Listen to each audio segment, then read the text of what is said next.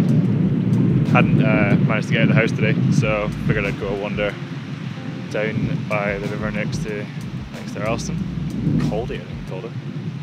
Gorgeous day today. Uh, obviously staying two meters apart from everybody. Safe. But yeah, I hope everyone's doing well and uh, managing. Obviously it's pretty manic time that we're in just now. First day of furlough for me, so I've been put on furlough as uh, explained a couple of weeks ago. Um, a couple of weeks ago, a couple days ago. Put on furlough from where I work just now, so we'll be left my own devices for the next eight weeks. Picked up a marketing course, so I'm going to be doing that over the next wee while. Um, keep myself occupied and busy alongside this and other things, and yeah.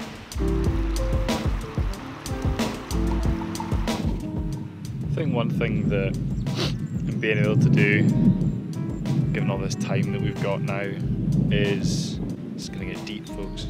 You know, think a little bit more about myself, and, and not in like a selfish way, but you know, work out some stuff going on with me, and kind of gives you time to reflect, doesn't it? And actually, what you want to do, and obviously, never really been given this amount of time to actually just sit and do what you want. So it's interesting you've been able to give them that opportunity.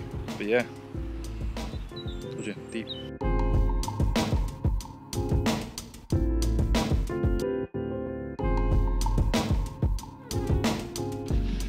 It's right about now that you wish you had a skateboard, eh? And a nice, pretty clear afternoon. Some nice, uh, solid pavement.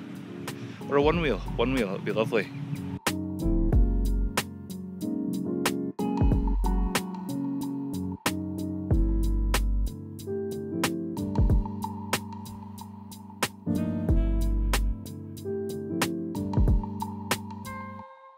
Yeah, don't know what everyone else is going to be up to. Um, I know a couple of us, a couple of people in, that I work with are on furlough as well. We're all talking about picking up different courses and doing different things with our time, keeping ourselves occupied. Because I think if we weren't picking these things up, we'd go stir crazy. Definitely beneficial picking some things up, keeping ourselves busy.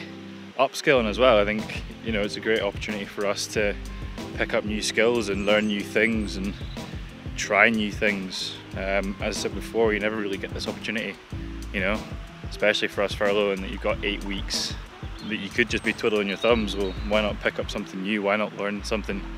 Why not develop a skill that's going to make you more valuable when you come out the end of this? I think that's what a lot of people are worrying about is, uh, especially companies, you know, how are they, how are they going to be? How, how you know how strong are they going to be coming out of this? You hear companies laying off their staff and you know, I'm quite fortunate that we're not doing that, but it's going to be a mad skill shortage when you come out the other side.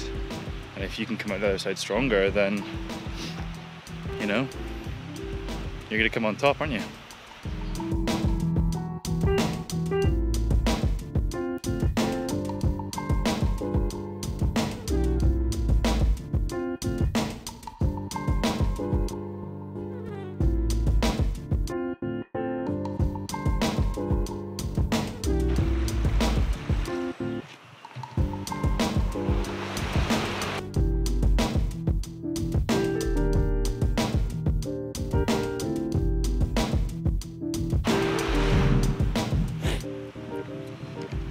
So uh, yeah, that's all, all the thoughts in my brain today.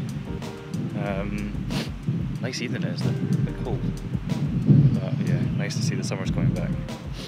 Um, not that we're excited to see it, right?